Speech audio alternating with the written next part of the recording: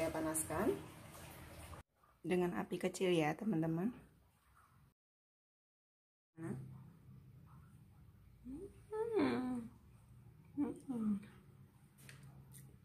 Lembut banget.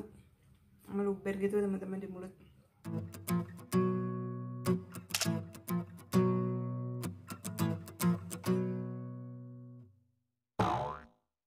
semua, Assalamualaikum. Jumpa lagi dengan saya di channel youtube Yanti Sioci Apa kabar teman-teman semua? Saya selalu ya. Semoga dimudahkan segala urusannya Dilancarkan rezekinya dan tetap semangat. Kali ini saya mau sharing sama teman-teman semua Dan ini juga saya udah lama banget nggak bikin nastar ya teman-teman. Uh, Saya ini mau coba bikin nastar lagi. Kira-kira apakah berhasil atau enggak Eh, doakan aja semoga berhasil ya teman-teman. Dan ini kan juga udah mau mendekati lebaran jadi ini juga bisa untuk ide usaha dan juga untuk nanti buat suguhan lebaran itu ya teman-teman. Oke teman-teman uh, pasti penasaran kan seperti apa keseruannya saya bikin nastar kali ini? Dan seperti apa apa aja bahannya ikutin dan tonton videonya sampai selesai biar nggak gagal paham Oh ya sebelumnya jangan lupa like, comment, subscribe-nya dan klik tombol loncengnya agar kalian nggak ketinggalan video terbaru dari kami. Oke, kita langsung aja bikin nastarnya ya teman-teman. Uh, jadi selain nastarnya itu sudah saya bikin kemarin dan sekarang itu saya tinggal bikin adonan untuk nastarnya, kulit nastarnya gitu. Oke, langsung aja. Ini untuk bahan-bahannya udah saya siapin. Ini tadi semuanya udah saya timbang. Nah, untuk bahan-bahannya di sini saya masukkan margarin 125 gram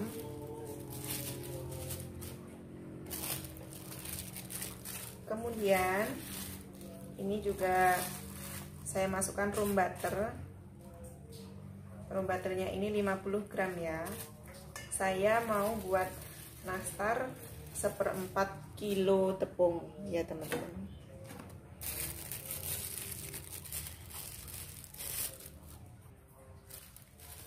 Kemudian ini gula halusnya 30 gram ya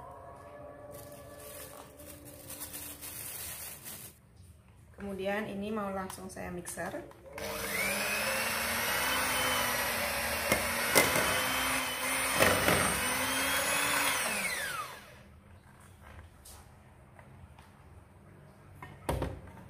Ini saya tambahkan kuning telurnya satu butir.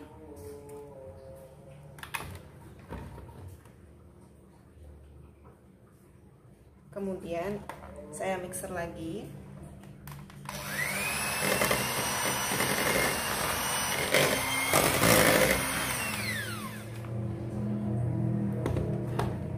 selanjutnya ini saya masukkan susu bubuknya ya teman-teman. Susu bubuknya satu sendok makan. Kemudian ini saya mixer lagi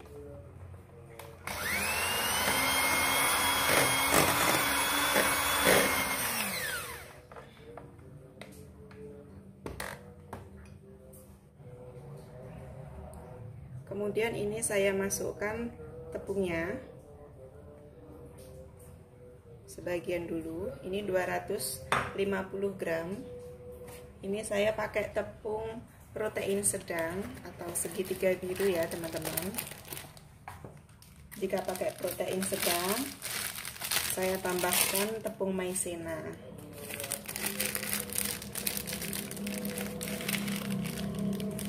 ini saya tambahkan satu sendok makan tepung maizenanya. Kemudian saya lanjut mixer lagi ya.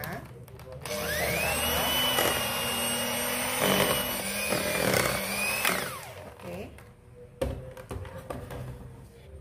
Kemudian ini saya masukkan sisanya tadi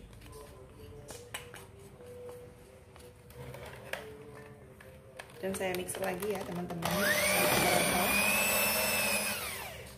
Oke ini mau saya uleni manual.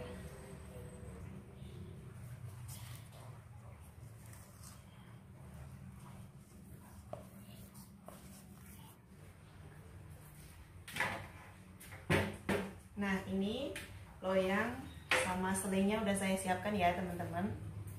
Selai nanasnya ini saya bikin nastarnya malam hari ya teman-teman. Jadi penerangannya itu kurang maksimal karena saya menggunakan lampu dengan seadanya juga penerangan seadanya ya. Jadi mohon dimaklumi.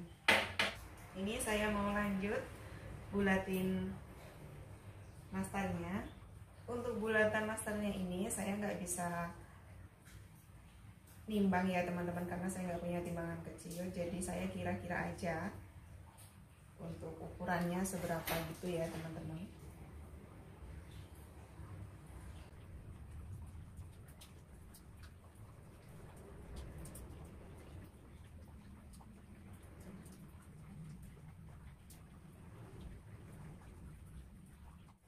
kemudian ini saya bulatkan seperti ini sampai halus ya teman-teman Nah, jadinya seperti ini ya.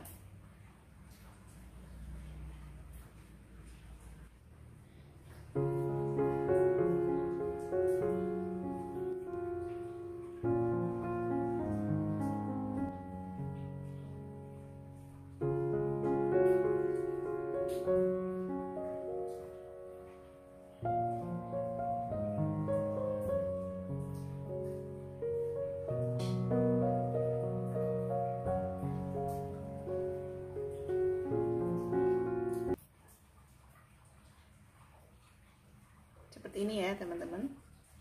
Ini saya lakukan semuanya sampai selesai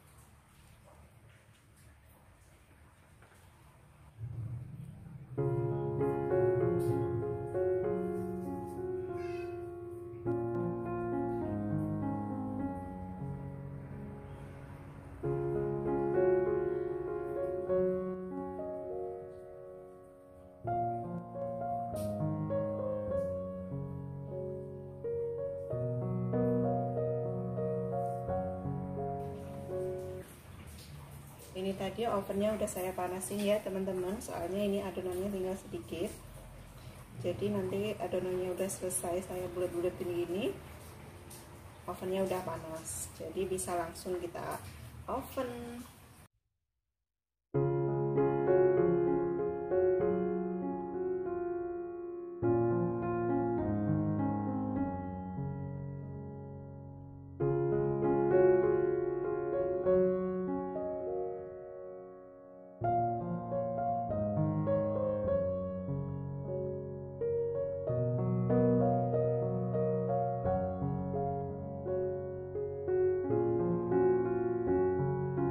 selanjutnya ini mau proses pengovenan ya. Nah hasilnya seperti ini. Ini mau langsung saya oven ya teman-teman karena ovennya udah saya panaskan. Oke ini saya masukkan ya teman-teman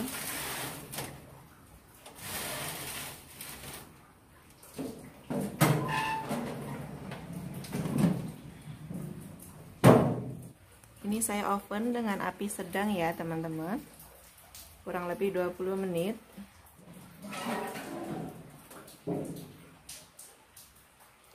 Nah ini udah matang ya teman-teman. Udah kecoklatan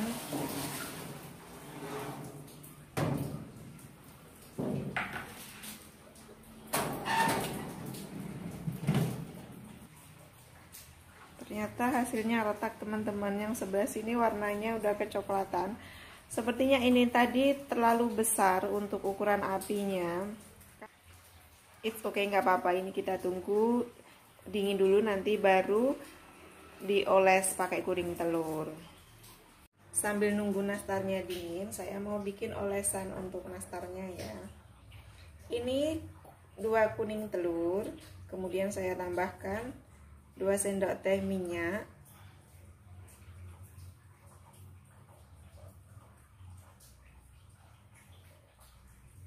Seperti ini. Kemudian ini saya tambahkan pewarna kuning telur.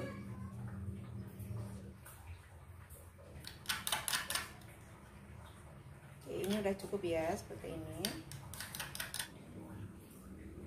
Ini nastarnya udah mulai dingin ya teman-teman. Kemudian mau saya oles kuning telur.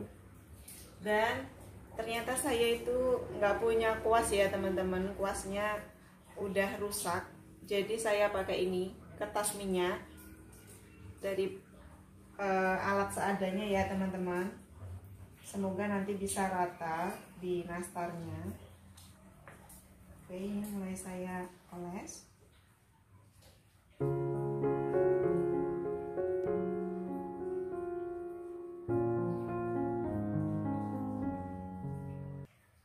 olesnya lebih gampang kalau pakai kuas ya teman-teman. Kalau pakai ini enggak semerata kalau pakai kuas. Ini teman-teman semuanya udah dioles. Sekarang mau saya oven lagi 10 menit. Oke ini saya masukkan.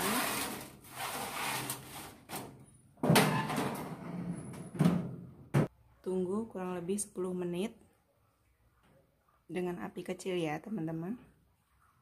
Nah jadinya seperti ini ya teman-teman. Jadi retaknya tadi yang di pengovenan di awal tadi tetap kelihatan ya teman-teman. Oke ini saya mau cobain satu ya teman-teman. Kira-kira gimana? Uh ini tuh lembut banget teman-teman. Tuh bisa dilihat ya. Tuh hmm. Ini tuh lembut banget teksturnya. Oke sekarang saya mau cobain. Hmm, ini merepul banget ya teman-teman, lembut, lumer di mulut dan enak banget. Mana? Hmm. Hmm. Hmm.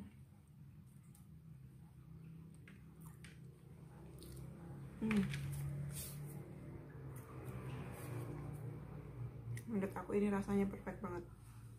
Cuman dari penampilannya aja belum pasti ya teman-teman. Nanti saya bakal belajar lagi. Oke okay, terima kasih ya teman-teman. Assalamualaikum warahmatullahi wabarakatuh. Bye bye